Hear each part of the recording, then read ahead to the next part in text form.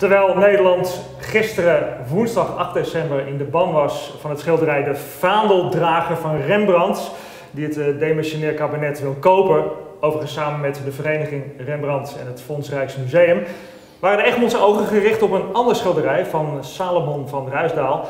En hierop uh, is een strandtafereel te zien met vissers uit Egmond aan Zee. En uh, dit schilderij ging uh, ja, voor 252.000 pond, Britse pond, van de hand gisteravond tijdens een veiling in Sotheby's gebeurde dat in Londen. Martijn Mulder, um, ja, jij weet veel van Egmond. Um, is dit een bijzonder schilderij?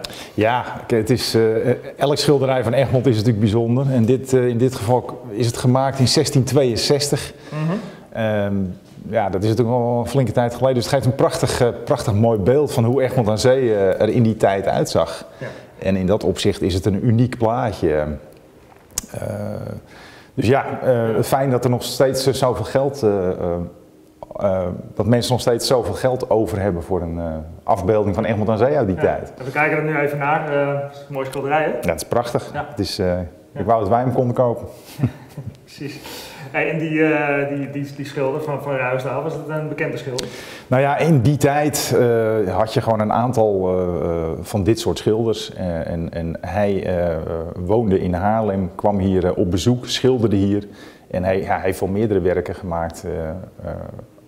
Ja, waarvan dit toch wel een van de bekendste is van Egmond aan Zee. En het bedrag, ja, dat is omgerekend bijna 3 ton ja. in euro's.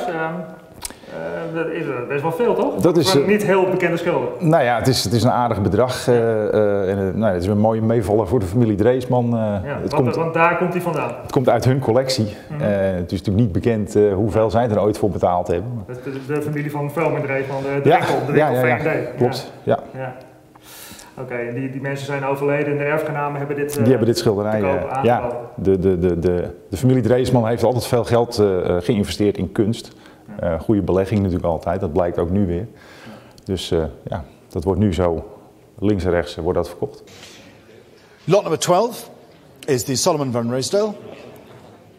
Again from the Mr. and Mrs. Barge Griezmann's wonderful collection and the bidding starts here on this at 150,000. 150,000, 160,000, 160,000 speed, 170,000. Ja. Is, is het bekend? Uh, ik heb gisteravond even zitten kijken. We zien nu ook beelden trouwens hè, van, uh, die veiling. Is het bekend wie dat nou gekocht heeft? Nee, dat wordt nooit, uh, dat wordt nooit prijsgegeven. wat wel opviel was dat het iemand was die meerdere schilderijen kocht. even daarvoor had hij nog 6 miljoen betaald voor een, voor een ander schilderij. Ja.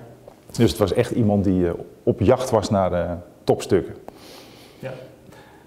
Jammer hè, dat jullie dat geld niet hebben. Want, uh, hier, dit, dit, is al prachtig natuurlijk ja. van het slot. Hè? Uh, ja.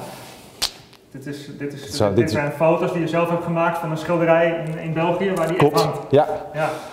Mm -hmm. Dus nou ja, misschien moeten we dat met Ruisdaal ook maar een keer doen. Dat we toch, uh, we, er zijn mooie, mooie digitale afbeeldingen van. Ja, misschien dat is een keer groot op de muur. En zo worden de ideeën hier spontaan geboren. Nou.